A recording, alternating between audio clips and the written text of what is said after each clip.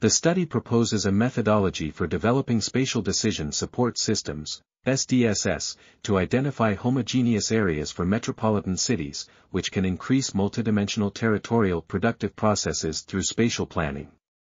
The approach involves three phases, selection of criteria and indicators, statistical implementation procedures, and multi-criteria evaluation.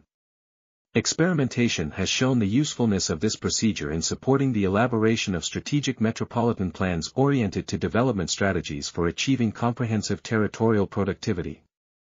The research is a first step towards a more general study that will be improved with additional data, especially related to industrial and economic processes. The proposed approach integrates geographic information system, multivariate analysis, and multi-criteria evaluation to improve the governance of metropolitan cities. This article was authored by Luigi Fusco Girard, Maria Cerreta, and Pasquale de Toro. We are RTCL.TV, links in the description below.